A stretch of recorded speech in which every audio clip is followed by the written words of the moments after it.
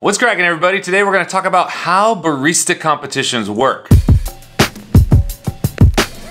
Just got back from the annual Specialty Coffee Association Expo. They have a trade show and they host all the competitions there. They've got the Cup Tasters competition, the Brewers Cup, and the biggest one and the most popular one is the United States Barista Competition. I used to compete in these all the time and it was kind of the climax of my year as a barista. I don't do it anymore, but it's still fun to go and watch. And there's a couple people that really stand out above the rest. And one of those this year was T. Ben Fischer. I met T. Ben in Costa Rica a few months before the competition, just through happenstance, we got to hang out, had a cool little evening together and talk, and I listened to some of his philosophies on competition. Competition weekend, he ended up in the final, so that's the top six. We'll talk more about that later. We'll talk about the format. Don't get ahead of yourself. Holly, who's a good friend of mine and also helped coach him, asked me if I wanted to come by practice early in the morning, the day of the finals. They have an hour long practice session where they can taste the coffee, dial in, do a bunch of things. Practice time is really, really sensitive, so I try to be a fly on the wall, not get in the way, and just kind of show support but not be annoying. Let's get into the format of the competition. For the competition, you've got 15 minutes to serve 12 drinks. So you serve four espressos, four of a milk course, which used to be a cappuccino course, but now baristas have a little bit more freedom to do their own ratio of milk, and four of a signature beverage, which is a beverage that the barista creates themselves. Now the competition is judged by three groups of judges. You have your sensory judges. Those are the judges that are actually tasting the drinks that you're serving. When you're doing your presentation, the sensory judges are the ones that you're addressing. They're sitting at a table, they've got clipboards, they're writing stuff down. You get to talk to them, tell them what you're all about. They're judging you on everything from taste, temperature of the beverages, texture of the beverages. It's the whole kit. The second group of judges are the technical judges. The technical judges are judging you on technical things. How clean you're keeping your station. Are you spilling coffee when you're dosing and redistributing? How is your workflow? Are you tamping accurately? All of those things. And they're really, really, really close to you. And it's a little nerve wracking to have someone that you don't know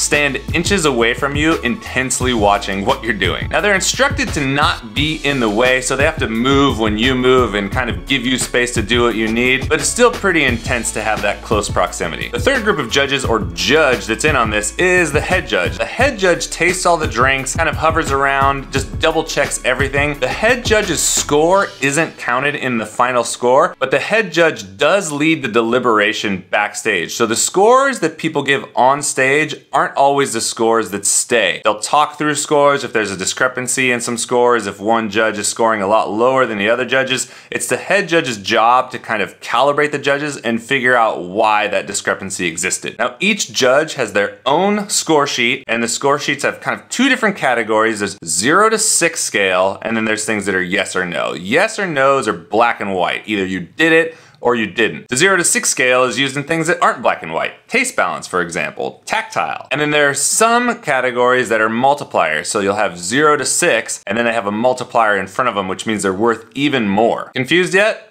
Totally. I'll put links to the score sheets down below. Now, for all you baristas out there who've never been to one of these or seen one of these things, serving 12 drinks in 15 minutes doesn't seem like that much of a challenge, but it's a little bit trickier than that. The experience that you provide is really important, and when you show up to the competition stage, you basically have nothing provided for you. They have an espresso machine for you and a grinder, but everything else you bring. So you wheel out a cart that's got everything on it. Espresso cups, cappuccino cups, water glasses, water for the judges, tablecloth, place setting, anything that you might use during your presentation, you have to get that set up in your 15 minutes prep time, which happens before the competition. Attention to detail really matters here. It's not uncommon to see people setting up with gloves on so they don't get smudges on the glassware. Everything's polished. It's a real fine dining kind of experience. Nothing is haphazard. Stuff is dialed. Aside from the attention to detail you need in your setup, more so than just serving the drinks and getting them out there, you need to really understand what coffee you're using, understand the flavor of that coffee. So you can't just serve serve espresso, you need to describe the flavor of that espresso to the judges. And even if the coffee is good, but the flavor descriptions don't match the descriptions that you give,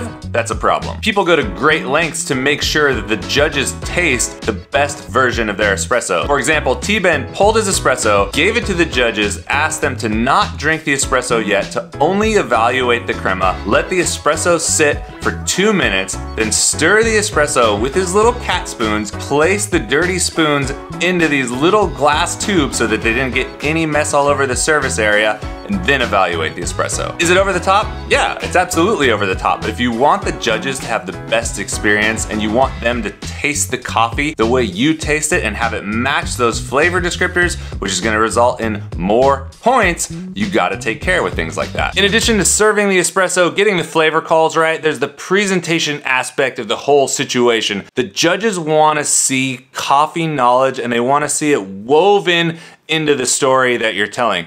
So you wanna know where your coffee's grown, how it's picked, how it's processed, what are the details, but more than just reading through the details like it's some stat sheet or something, they wanna know how those things affect the flavors that they will be tasting. And that feeds into a whole different part of the challenge is taking that information and weaving it into whatever story you're trying to tell. Even if you do know all that info and how it affects taste, your performance would fall really flat if you went up on stage, served some espresso, told people about coffee processing, and then said goodbye and had no bigger message message to it. So the best presentations have some driving statement, some big mission statement. It's like a thesis paper. There's this huge idea you wanna see happen. Maybe it's a change in the specialty coffee industry. Maybe it's a whole new idea that's never been explored in coffee. And you're using your presentation as a soapbox to get your idea out there. And being able to weave that in with the flavors and weave that in with the coffee knowledge. People that can do that have epic presentations and T-Ben did an amazing job of this. Now, although the espresso course is weighted the most heavily on the score sheet, visually and creatively, the signature drink is kind of like the climax to the whole performance. For the signature drink, baristas are allowed to create their own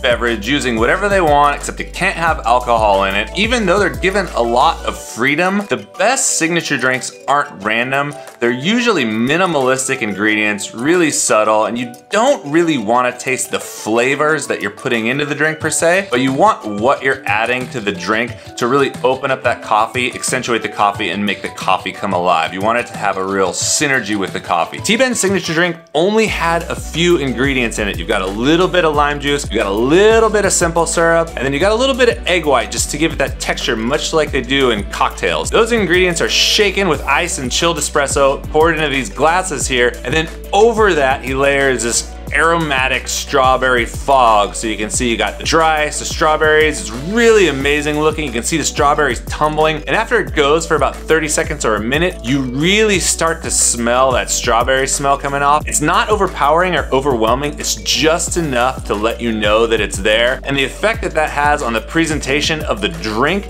and of the presentation just at the table for the judges is so cool. Barista competitions can be really boring. So anything that you can do to amp it up while maintaining class and taste is really, really huge. Sure, it'd be easy to take some dry ice and make it steam and smoke and have it be completely out of context. But for the way the flavors came together for a signature beverage, it was perfect. This drink was really, really, really good. I'm so glad that I got to try it during practice time. And again, when you drink it, you don't taste any of those ingredients individually. You taste a different version of the coffee. It's like those ingredients kind of pull some things out of the coffee that were just kind of subtle and in the background, accentuate different different aspects of the coffee, you just get a different highlighted version of his espresso. And that's one of the biggest challenges with the signature beverage, coming up with something that tastes delicious, that's simple and accentuates the coffee, but is still innovative enough to not fall flat and be super boring. It's, it's it's pretty hard. It's hard. It's real. Shit is real. For the competitor, competition weekend is a really, really gnarly weekend. I'd say for about every 15 minutes that you make coffee, you're doing probably four or five hours work to get ready for that. Practicing, dialing in. Every time you practice, you have to do dishes. You have to repolish everything. You have to keep track of what coffees you have. A lot of times people bring different coffees. Sometimes people will bring the same coffee roasted at different days. Sometimes people will bring coffee that were roasted on the same day. It's the same coffee, but they're opening the bag to let it off gas gas at different rates and testing those and seeing which one you're gonna use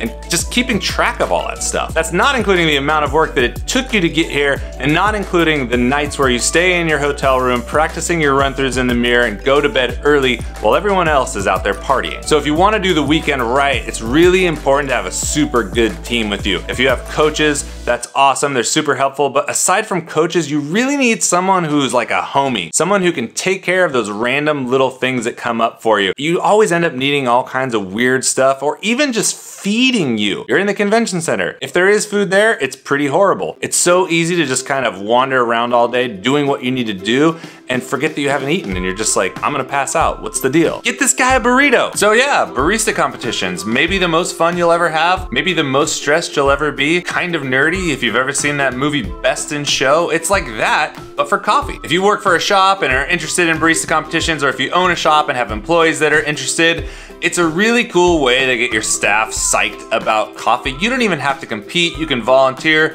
you can bus, you can sign up to judge, they'll put you through a little sensory class. It's like a really cool way to do some palatal development, drive engagement, and no matter what capacity you participate in, everybody comes back more hyped. So if you're looking into it, I, you know, look, go there. Super big shout out to T-Ben for letting me hang out, letting me film this, letting me document the practice session. I know it's kind of obnoxious to have people there sometimes, so I really appreciate being able to taste the coffee and being able to be at the table. It really made my weekend awesome. It was my favorite morning of the whole weekend. If anyone's wondering, T-Ben got second place in the nation Congratulations to you, my man. Second place is super, super awesome. And I know second place is like this really weird thing because it's so close to first. Trust me, I know exactly how you feel because I've been there. But second place is no joke. You should be super proud. And you really got me charged up. The way you talk about coffee, the story, your energy on stage, not to mention, I don't know what else to call it other than swag. It was really refreshing.